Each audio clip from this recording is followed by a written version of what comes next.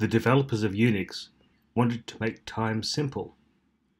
So they chose an arbitrary time and called it zero. For Unix, the time is the number of seconds since the start of 1970 in Greenwich, England. In Unity 3D scripting, we are using the more sophisticated date time object provided by .NET. Epoch time will often be used when interfacing with external systems or devices. Converting between time encodings is not complicated, but it makes sense to wrap it in a class for consistency. It involves converting from local time to UTC and the reverse, plus accounting for daylight saving. Okay, so how does Able help? Well, there is a clock class that wraps these conversions. As you can see, the class is extremely simple, but it helps us remember how to make things work. So let's look at how to use it.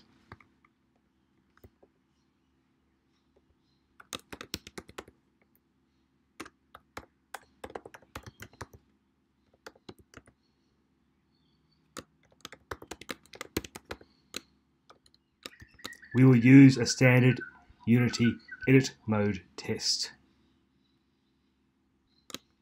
So here is the .NET date time class and we'll use it to get the time for now.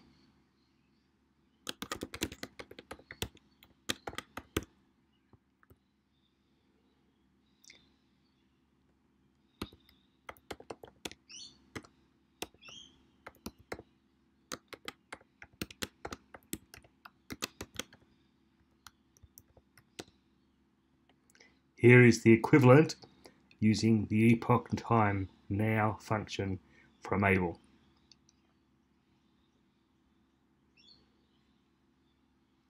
We can also get epoch time from any date time.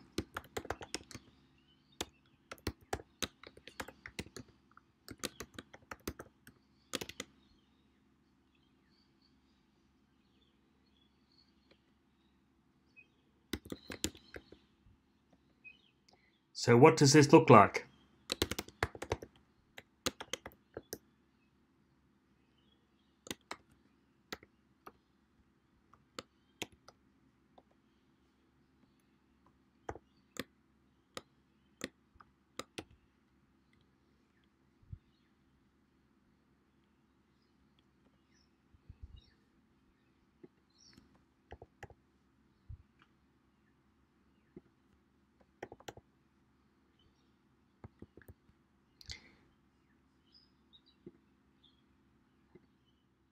As you can see, they are accurate to almost one hundredth of a second.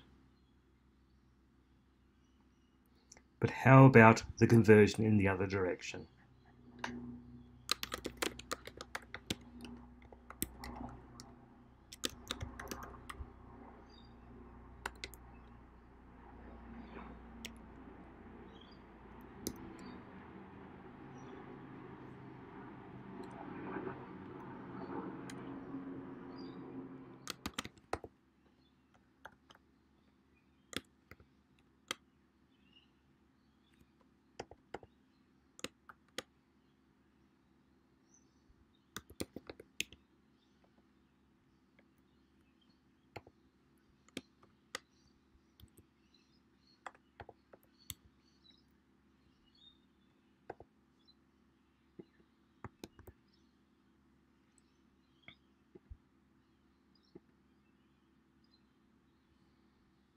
And we get the same time.